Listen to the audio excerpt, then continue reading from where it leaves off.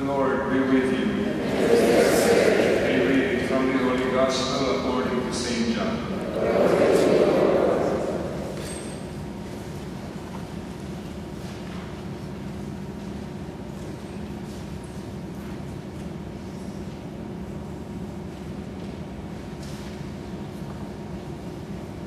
When the crowd saw that neither Jesus nor his disciples were there, they themselves got into boats and came to Capernaum looking for Jesus. And when they found him across the sea, they said to him, Rabbi, when did you get here? Jesus answered them and said, Amen, amen, I say to you, you are looking for me, not because you saw signs, but because you ate the loaves and were filled. Do not work for food that perishes, but for the food that endures for eternal life, which the Son of Man will give you. For on him the Father, God, has set his seal. So they said to him, What can we do to accomplish the works of God? Jesus answered and said to them, This is the work of God, that you believe in the one he sent. So they said to him, What sign can you do that we may see and believe in you? What can you do? Our ancestors ate manna in the desert, as it is written, He gave them bread from heaven to eat. So Jesus said to them, Amen, amen, I say to you, it was not Moses who gave the bread from heaven. My Father gives you the true bread from heaven. For the bread of God is that which comes down from heaven and gives life to the world. So they said to him, Sir, give us this bread always. Jesus said to them, I am the bread of life. Whoever comes to me will never hunger, and whoever believes in me will never thirst. The Gospel of the Lord. Whenever an individual is presented to be considered to be canonized as saint in the church, there are a number of inquiries and investigations that take place. Records of their virtues, their heroic life are gathered. People often offer testimony as to why they represent a significant and unique way the virtues of the church. And this was the case with Mother Eugenia as well, the one who received the revela- revelation that you celebrate feast day Mass today. And I'd like to offer one paragraph, one brief passage that the investigating bishop offered in writing about Mother Eugenia. He says there's a harmonious interaction of two different characters, which tends to confirm the authenticity of Mother Eugenia's vision. On the one hand, it is presented as something traditionally held by the Church, without any suspicious innovations, for it incessantly repeats that everything has already been said in Christ's revelation about his Father, and that everything is in the Gospel. But on the other hand, it declares that this great truth concerning knowledge of the Father needs to be reconsidered, studied deeply, and experienced. And in many ways, I'd like everyone to focus on that message offered by the bishop in regard to Mother Eugenia that can hopefully guide not only the liturgy today, but what you do in praying this devotion and in moving forward in your faith, in a deepening relationship with God.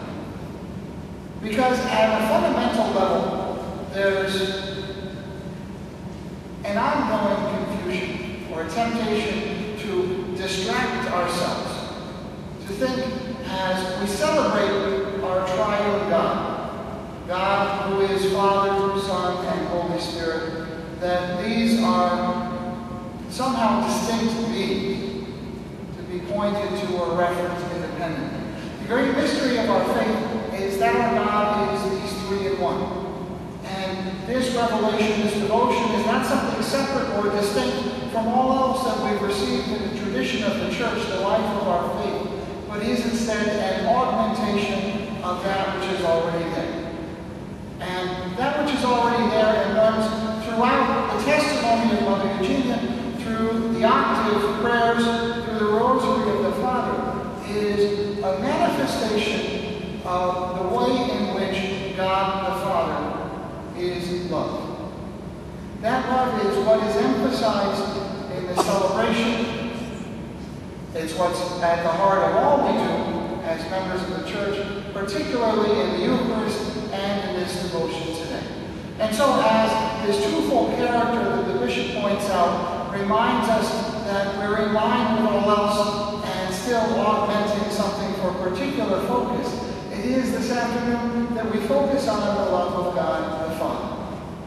And that love for us is always manifest as we find in the Gospels through the incarnation of Christ, his only begotten Son. The most profound expression of his love that continues to move forward for us today. When we look at the Gospel, we find in our Eucharistic celebration this afternoon a very distinct expression of God's love. One that began with our first reading from the Old Testament and the experience of the people of Israel traveling through the desert and receiving the manna from heaven, bread from on high, to nourish and sustain them on their journey. That brings us to the gospel today. And this gospel is story. One which began last Sunday with the miracle of the multiplication of the loaves and fish. And in that story, Jesus miraculously takes this small amount and feeds the masses, an, un, an unbelievable and insurmountable task. And when that took place, people, as is so often the case, and as in, is in some ways our inclination still today, can take a good thing, can take a positive message, but become blinded by our human frailty, by our own limitations. The people of Israel in the miracle of Christ's multiplication of the loaves and fish immediately turned their minds and attention to an earthly reality. Because as an oppressed people, they were seeking a king, one to lead them to freedom, to take them out of their troubles and tribulations. And so Jesus, realizing their mistake, their error in that steps back, withdraws. And the people seek him out again, and we come to this gospel story today. The people approaching Jesus, asking for signs seeking that leader, and he needs to remind them that that's not what he's there for. That's not the purpose of Christ's incarnation, but instead it is to be a manifestation of God the Father's love. That's what's at the heart of his action in the gospel, and that's what we're invited to consider today, to reflect on, and to take from our liturgy. To know that in it all and through it all, God's love endures. That is what is most important, and that's really the only thing that matters. And so as we gather today to celebrate, to commemorate, to pray for one another, to offer up our intentions, and to give thanks to For that love which is present in our world, in our hearts today, we acknowledge that the gifts that we receive in this day, in this Mass, the spiritual and physical nourishment is still another sign of that divine presence, pointing us to God the Father, who is love in all and who loves us this day. And so now let us rise as together we proclaim our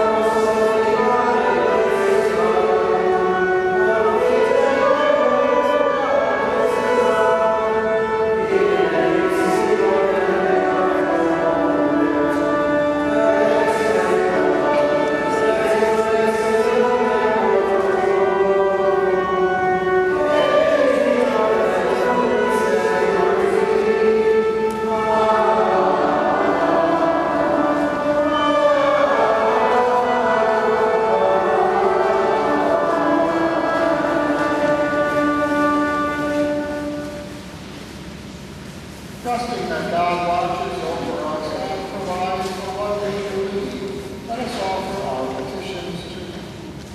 For the church, that she continue to follow Christ's example and provide for the poor in their physical as well as spiritual needs. Let us pray to the Lord. For the civic leaders, that they recognize the importance of religious freedom and the ability of all to worship freely. Let us pray to the Lord. For those facing persecution because their faith in Christ, that they may be strengthened by the word of God and the promise of His kingdom. Let us pray to the Lord. For those gathered here, that we may work to build up the kingdom of God in our own communities, let us pray to the Lord. For those who have died, that they may enter eternal life and the kingdom of heaven, let us pray to the Lord. For deceased members of the God the Father, send a devotion, especially for Valentina Vega and Primitivo Tavo. May they rest in peace. Let us pray to the Lord. For the spread of the God the Father, send devotion throughout the city, so that He will be made known, loved, and honored by all. Let us pray to the Lord. For the intentions of the promoters and members of the God the Father, Seneca Devotion, let us pray to the Lord. For special blessings to all our donors, supporters, and all here present who are giving their time, talent, and treasure to make the feast day of God the Father possible. Let us pray to the. Lord